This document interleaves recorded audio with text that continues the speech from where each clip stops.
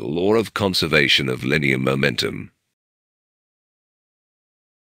According to the law of conservation of linear momentum, when two objects collide in an isolated system, the total momentum before and after the collision remains equal. Consider two balls of mass m1 and m2, where the ball of mass of m1 has a velocity of u1 and the ball of mass of m2 has a velocity of u2.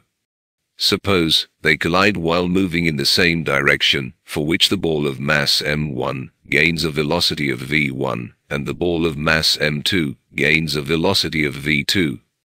Before collision, the total momentum of these two balls is m1u1 plus m2u2.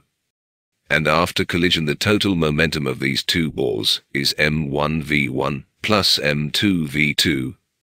If there is no external force acting on the ball, that is only interaction takes place, then according to the law of conservation of linear momentum, m1u1 plus m2u2 is equal to m1v1 plus m2v2.